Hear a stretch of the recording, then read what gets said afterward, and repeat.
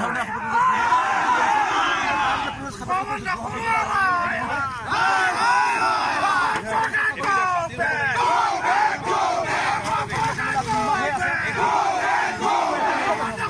অসমৰ ৰাইজে বহুত আশা কৰি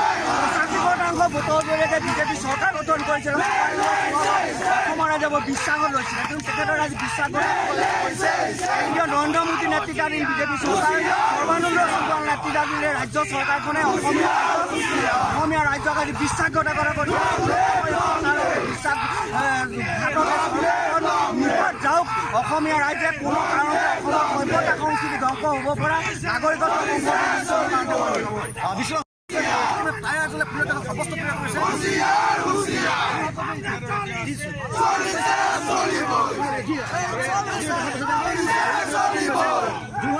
চলিছে চলিবই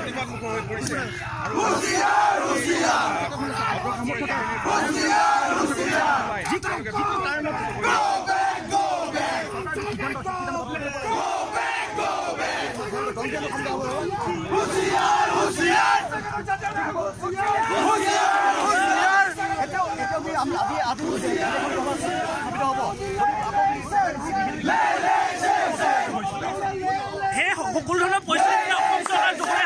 আমি স্পষ্টভাৱে কৈছো কিমান তেইছ টকালৈকে এই বিধেয়ক আমি অনুমোদন কৰিবলৈ কিন্তু ইয়াতকৈ ভয়ংকৰ পৰিস্থিতি সন্মুখীন হ'বলৈ চৰকাৰ সাজু থাকক।